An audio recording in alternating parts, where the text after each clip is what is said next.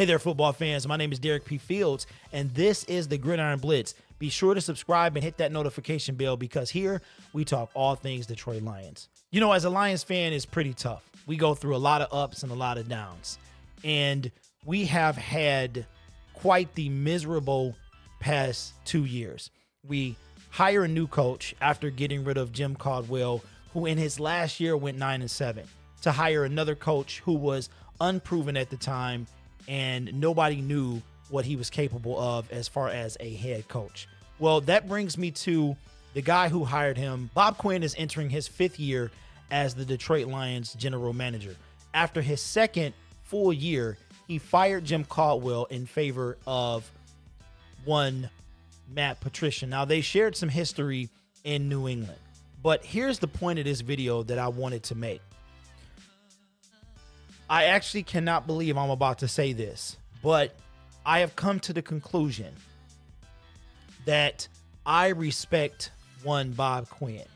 And I'm going to show you guys why I said that.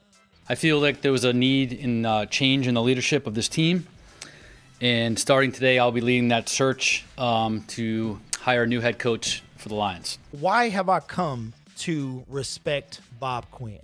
Well, Bob Quinn, when he hired Matt Patricia, there was something that was said that I think by the media and Lions fans, including myself, we kind of manipulated the words or we heard what we wanted to hear. And that phrase is the infamous nine and seven wasn't good enough. When you look at our record um, over the last couple years since I've been here, you know we didn't we didn't beat, beat the really good teams. You know, our record is uh, was above average. Um, you know, nine and seven the last two years, but our record against the better teams in the league has not been that good. Now, as you saw from the clip earlier, that's not what Bob Quinn said. Now, reading into it, that's the bottom line, but that's not what was said. I think there's games that we could have, would have, and should have won, and we didn't. Um, and you know, you know, this is a results business. This is wins and losses. We can talk about all the individual plays, all the individual players, the staff. We can talk about all that stuff. It comes down to winning football games and winning championships. So, why do I respect Bob Quinn? This isn't a something that happened overnight.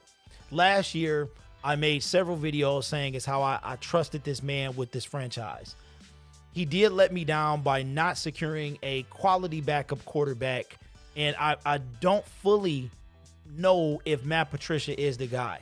But what I do know is while I might not be able to fully trust Bob Quinn, I definitely respect him. Bob Quinn said that our record was above average and that we couldn't beat any good teams. He was right.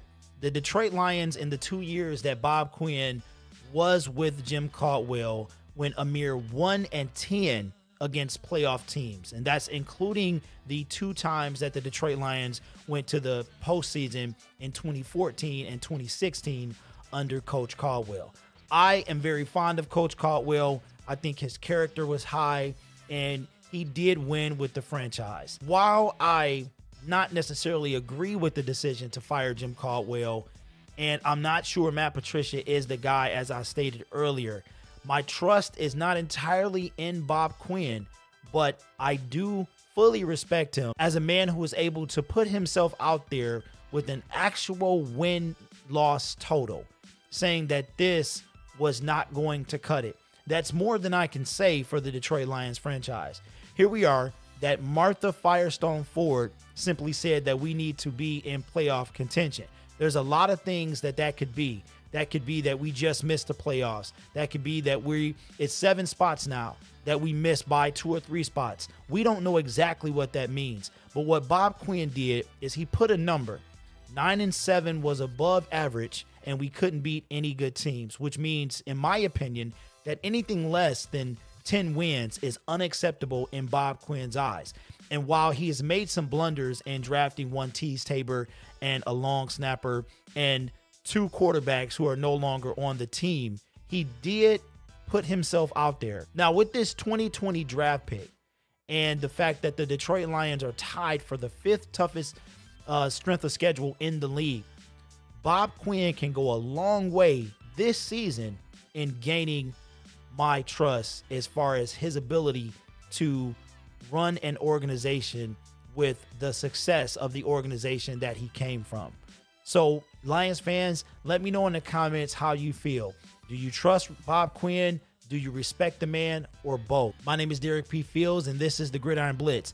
If you haven't subscribed already, please consider doing so as we try to drop content every day. With that being said, everyone stay safe, and I'll catch you in the next video. Peace.